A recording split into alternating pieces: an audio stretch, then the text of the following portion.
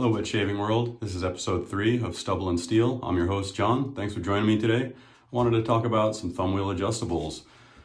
Two super iconic, really famous ones, the Merkur Progress and the Parker Variant. When I first got into wet shaving, I had heard so many things about the Parker Variant being rather aggressive, so while I liked how it looked, I was kind of apprehensive to try it. And the Merkur Progress, I also kind of heard that it was aggressive, so I kind of stayed away from it. Uh, I was scared to try them because I kind of like more of a mild versus aggressive razor. And uh, long story short, I got them and uh, I really like them. I was going to return which one I didn't like and I wound up keeping both of them. The Merkur Progress, my critiques of it would be, first off, you have to align, and uh, it's funny, I have it the wrong way, but you have to align the top cap notch with the bottom cap. If you look, if you don't know, you can see right there and there on the top cap and on the bottom, there are little notches that line up. And the thing that I find crazy is they've supposedly been making this Merkur Progress since 1955. And on the box, there was zero instructions about lining up the top cap and that, and that notch how you can not mention that, especially as a German company, which are known for being meticulous and great machinists and super attention to detail, how you could not mention that if you don't put the top cap on the right way, the razor will line up on the three adjustment is uh, blows my mind. The other thing I noticed, and I can't really get it here on the camera, but I'll try, is up underneath here, man, you can really tell that it's Zamac. It's all just like, not super pitted, but it's not quality stuff by any means. And same with on the inside. You know, yeah, that stuff's hidden, I guess, and shouldn't be so nitpicky where you can see up here and here is highly shined and you know that kind of stuff but compared to the progress or compared to the variant the i'd say the machining and the quality of the build is much better. Um, the red dot and the numbers painted on both of these uh, i did myself guys so don't think that uh, that's how they come. I just wanted to throw that out there. Um, the other thing that I would mention is it's not as easy to paint those as the videos that I saw. It was more so one of those kind of cussing contests. Why did I bother with this again? So it's not as easy as I thought it was going to be, but uh, I've done stuff on gun work and whatnot, filling in letters, and it was much easier. So uh, on that note, um, a little bit harder than I thought it was going to be. But anyways, the things that I do like more so on the variant is I like these lather channels. I noticed on the new open comb variant that they came out with, those lather channels are gone. I don't really understand why they would have done that. You know, it does have these really big fat channels here for the lather to go, so maybe they felt it was not necessary. You know, these razors are extremely similar when you compare the heads. A lot of people basically say that the variant is just a, a copy of it, but I find that they shave a little bit different. So let's uh, hop into it. Today what I wanted to use for the uh, blade was, you guessed it, one of my favorites, the Treet Falcon carbon steel blades. I find that in the variant it works really, really well. Um, I find that the Progress is a little bit more blade finicky than the uh, variant. I find the variant much more tolerant with blades. It works great with the Perma Sharp and some others that I've tried. I, I got great shaves with almost every blade I've tried in the variant I found.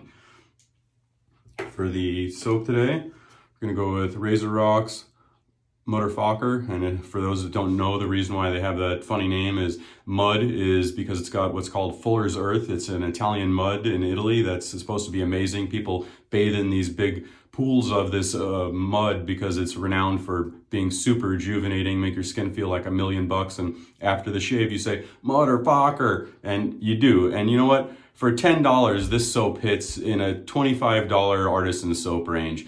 The lather is amazing. The post shave is amazing. It's got great slickness. It lathers up super, super easy. No complaints at all. For $10 that it normally is, and sometimes on sale, you can get it for even less than that. Mind blowing soap. As far as the scent notes on it, it smells to me exactly like Jean-Paul Gaultier's uh, La, La Male cologne. It's like a silhouette of a man's body and it's got like blue stripes and stuff on it. To me, it's exactly how that uh, smells. It smells just like that cologne that uh, I used to wear.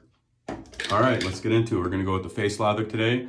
For the uh, brush, I'm using a uh, Yaqi 30 mil barber pole. Uh, the handle on this is, is uh, you know, comfy if you hold it up here. I wish they would have just kind of trimmed down this part. Uh, I was going to talk to my dad and see if we could whittle it down on the lathe or something and make it a little bit better ergos. Um, it's got a great big knot on it, man. It's a lather beast synthetic knot. I like synthetics, especially big ones, 26, 28, 30 mil. I find that they just are, are lather beasts for me. I, I, don't have to load so long, and uh, I just kind of prefer them, simply put.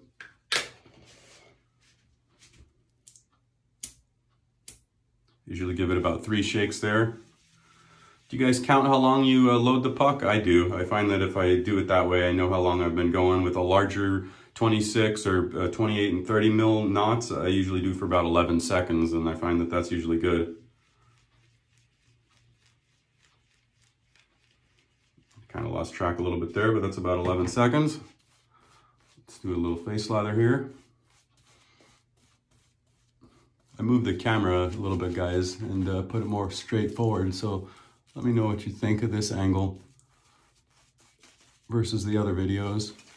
Was one better than the other for you?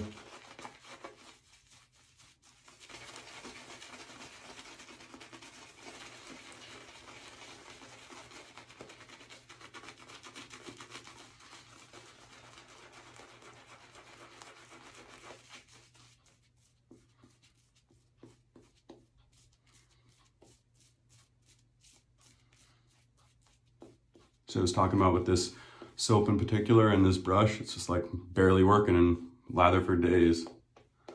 Cushion's already there. Don't really have to add much water because I had enough left in the brush.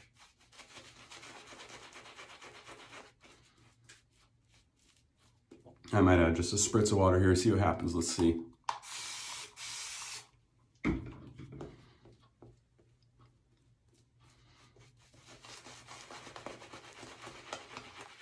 So what from what are your favorite adjustables, guys? Do you have a bunch of them? I've got a couple others. I've got a Merkur Progress, obviously. I've got the Futur. I've got a Futur clone. I've got a Gillette Vintage uh, Black Beauty 109. How about you guys? Do you have a bunch of different adjustables? I've got a T2. My buddy loves the T2, and so I tried it, and I find it's a little bit mild for me. I can't find that sweet spot with it. All right, let's get loaded up here with our blades.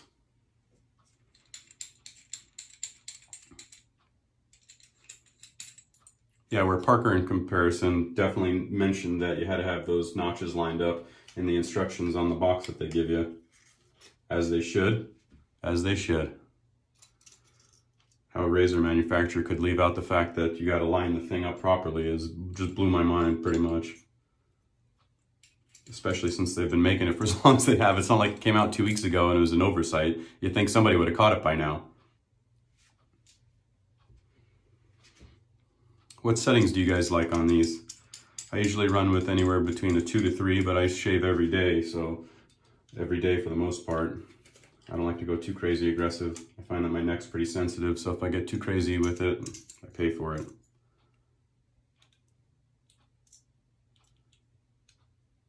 My notches lined up. I might paint in those uh, notches on this uh, Progress in particular with it being all chromed out. They're pretty hard to see, especially the one on the bottom here. Tiny little arrow. I do wear glasses and I'm not wearing them, so that doesn't help at all. All right, let's start with the three.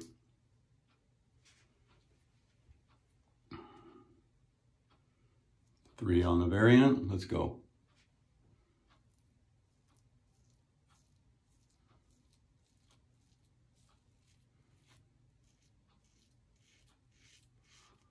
Man, those Treet Falcon blades are just so nice to me.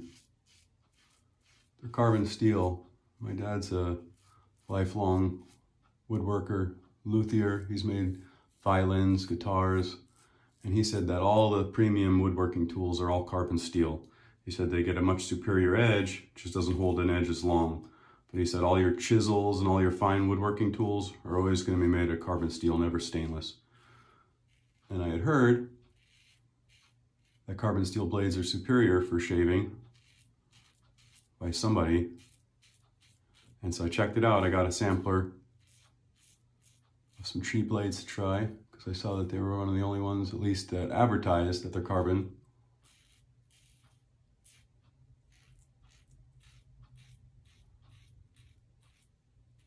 I really like them.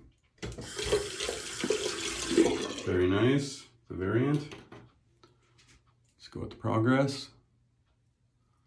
I will say with the Progress, a lot of guys complain about the handle. And it's definitely super slick. I'm not going to say otherwise. I personally don't use alum, so I can't make my fingers all sticky with it. But the saving grace is that knob, especially for the against the grain or when I'm shaving, I'd basically just raise, rest that knob on my pinky. So for me, I can get it done. It works fine. I got no complaints. If it didn't have that knob, I probably would have returned it because it's even worse to hold than Edwin Jagger. Although mine's the lined Edwin Jagger DE89 and it's very easy to hold with the lined. I like it a lot actually, it's got a lot of grip. But that's why I didn't get the smooth ones that they offer. That just seem kind of silly to me. Although sometimes smooth things like with my uh, Futur, even though it's smooth, a little more feedback, a little more audible feedback. With the progress.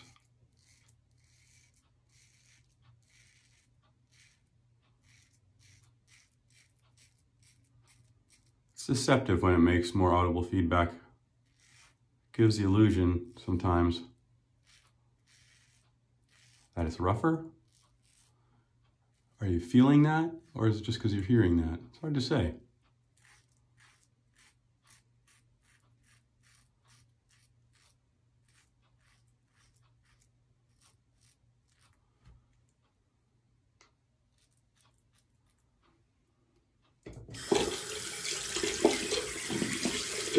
Variant seemed just a tiny bit smoother to me there, guys.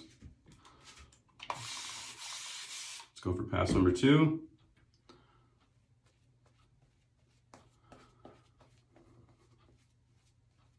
I find the variance extremely efficient for how smooth it is for my facial hair. Another thing that I noticed was there was a review of the new Open Comb one, and if I'm not mistaken, it seemed like they had updated the marks on the top cap and on the bottom plate, and mine seems like it was like that newer one, so I question if they changed the closed comb head at all, and that's why I like it so much.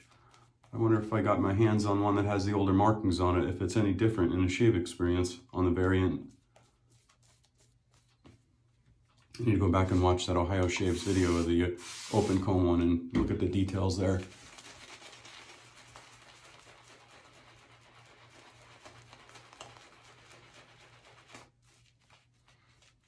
I really like retro, old throwback style vintage designs. And that's what I think turned me on to the Progress to begin with. I just thought it has that cool look to it. So that's why I don't hate on that slippery handle that much because it just looks cool in the in the stand. I have a white faux ivory handled Yaqi brush. That's another 30 mil. And uh, side by side, it matches almost identically the uh, knob. And it looks really good side by side. They look cool together. All right. Let's go to a two and a half on the against the grain on the neck here.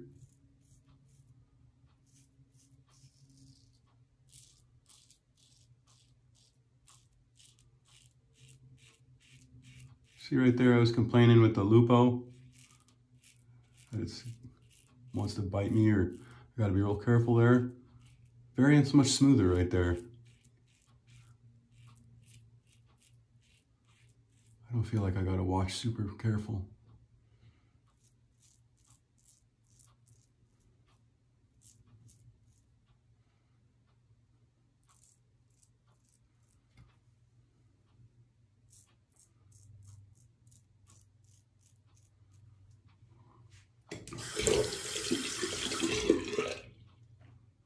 All right, back over to the progress side.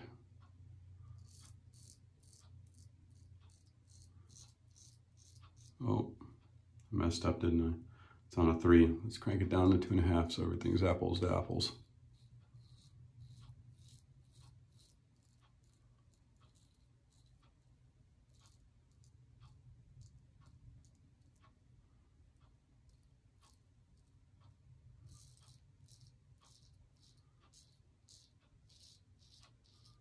Progress feels a little better on the two and a half versus the three.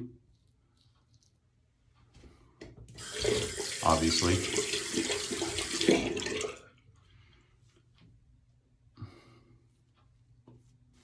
Obviously, because it's not as aggressive on that setting, so. I guess I just meant compared to the two and a half on the other razor.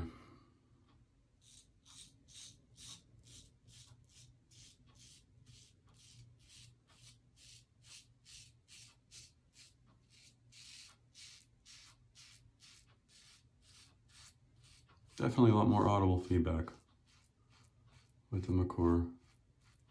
But I kind of like that. It's that cool sound, you know? That manly sound. feel like I'm really working with something. Got more shock effect, you know? Cool sound effects.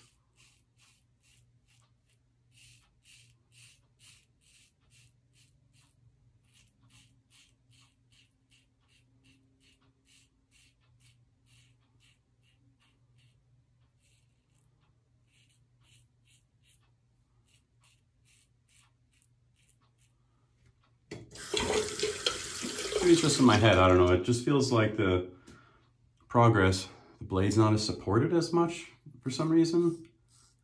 And when you look at them, they look so similar. If there's a difference, it's gotta be microscopic, minute difference because you can't tell with the naked eye. They look like they're almost the same head, other than those lather channels.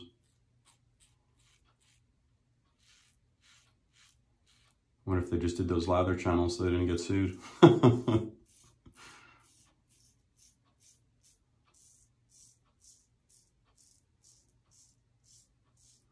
but the handle and the knurling and the grip on this is definitely superior. There's no, no doubt about it. If you like a longer handle, they make two different versions of the Progress.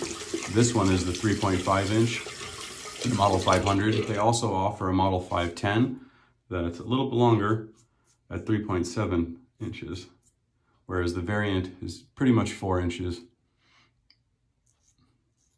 Weight-wise, the variant's 113 grams. If you get the 510 in the Progress, it's 103, so a little bit closer. This one, the Progress, the shorter one, is 91.2 grams. So over 20 grams difference in weight between these two razors, but they both feel good. I will say that the Progress feels a little bit cheaper in the hand. It doesn't have the weight and feel and solidness that the Variant does. But I definitely wish I would have tried the Variant sooner and not been so scared of it. Greg Tardiff really likes it, uh, all the different adjustables he's tried. He liked the Variant a lot, so maybe I should have tried it earlier. I find the most important thing when you're watching reviews on guys shaving with razors is what other razors do they like and what is their facial hair type? Is it similar to yours? How often do they shave? Those are factors you really need to consider because I don't have the thickest beard, but it's definitely a lot thicker than some other channels that I've seen. So what works for me might not work great for you guys and vice versa. All right, let's go against the grain here. You know what, I'm gonna go back up to a three.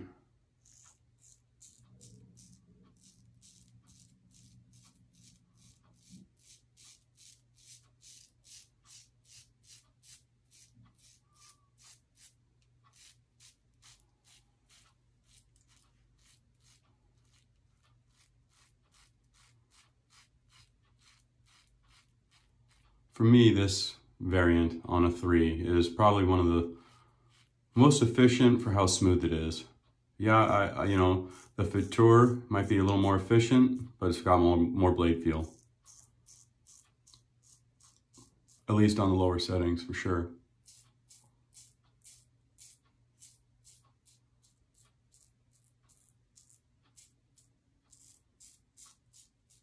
I don't know that I've even cranked this one up to four. I've never had a need to yet.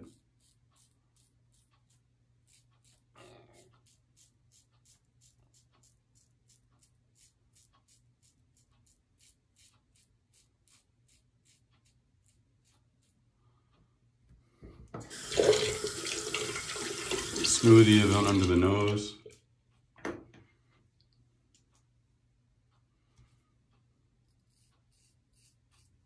Crank it back up to the three.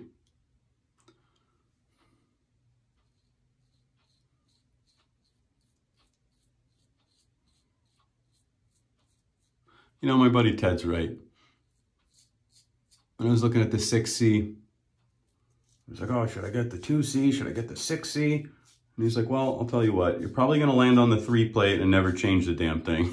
he was right. And sometimes with these adjustables, I laugh. I look at all these specs of what the what the spread is on the gap, where does it start, where does it end as far as setting one to six or one to nine or whatever they're offering. And I get all lost in these details. And then at the end of the day, I don't even really use most of the adjustment. How about you guys? Do you really play with the adjustment all that much?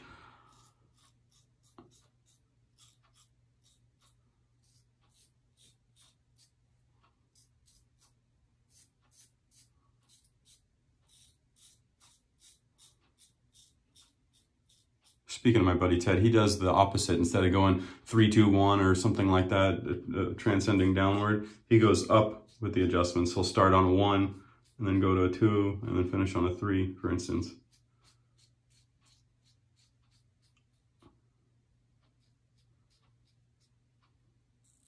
At first, I couldn't wrap my head around that. It didn't make any any damn sense to me, but I guess when you think about it, it's just kind of a different ideology of the progressive reduction. You start off on a low setting so you get no irritation, and then you finish off on the high setting to clean up anything that you missed. I get it. I just haven't gotten around to trying it, I guess.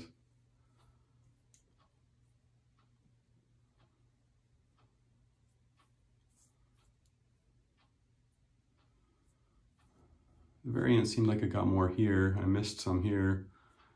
Progress left a little bit more here. That could have been technique because I'm playing around with this new camera angle and so I was kind of in that weird spot where I was trying to look in the mirror, trying to shave in the in the camera. It's a little bit goofy for me.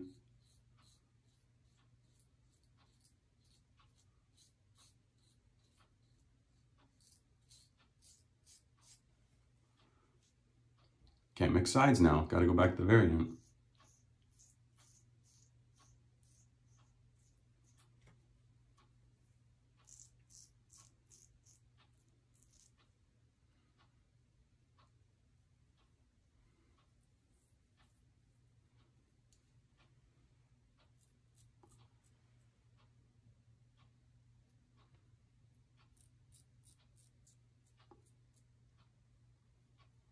That's about the only way I can get under my nose. I got a big old beak, so, you know, I guess it is what it is, but I, I can't get under there with most razors. All right, guys, well, I gotta say, uh, real, real close. I mean, uh, tiny nuance differences. Cool retro look, looks great in the razor stand. You got the cool nostalgic knob. Some love it, some hate it. If you want to get crazy with an X-Acto knife and try to cut your fingers off, some guys make some uh, fancy new uh, 3D printed knobs on Etsy and stuff like that. But uh, you know, just different look.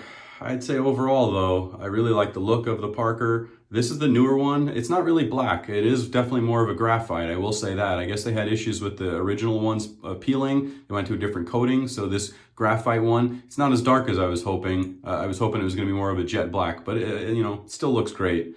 And uh, overall, I like the knurling better on this. And there's just something about it. It just seems a tiny bit smoother and just a tiny bit more efficient. Although on the other hand, if you like that crunchy ASMR uh, audible feedback thing, can't go wrong with the with the progress. I guess I just feel for the for the same sixty dollars, I think you're getting a lot more refinement and uh, you know it's quite obvious they they uh, you know did their homework and made a new and improved copy. So you know for the same sixty ish dollars or so, I, I like this one. Um, you know, I can never decide if I like a short handle or a long handle. I really like these three and a half or three seven five. I find are great to really set it on the pinky like that. I find you do get more maneuverability versus long handle. But if I want to come and clean up my neckline or something like that, I definitely like the longer handle. And I do actually use the variant with that uh, radio knob style setup on the end. It's definitely easier to hold on to. So at the end of the day, guys, can't go wrong with either one. I think you'd be happy with both. It just depends on what style you like. Don't forget with the Progress, they do offer the 375 or 3.7 inch handle, so you can get a little bit longer one if you like the longer handle. But uh, my pick would uh, be the variant. I'd really like to try that new open comb one and see how aggressive it is. I personally haven't had greatest luck with the open combs so far. I tried the RazoRock SLOC and I tried the DE5 uh, fine one, and they just seem like they kind of want to bite me at any turn. I'm not a huge open comb fan, but I definitely would like to try the variant uh, Parker one and see what I think of that one. All right, guys, hope you enjoyed the video. I think next up is going to be some uh, Clubman Pinaud uh, aftershave, and I uh, want to do some head-to-head -head between maybe the Futur and a clone. Throw me uh, some comments in the in the boxes below and tell me what you guys want. I got a bunch of different uh, razors I can try. Tell me what you'd like to see some reviews of. I could do a Game Changer versus Lupo. I could do Mamba versus Game Changer. I could do uh, a couple different ones. So throw me some ideas. What do you guys want to see? Take care.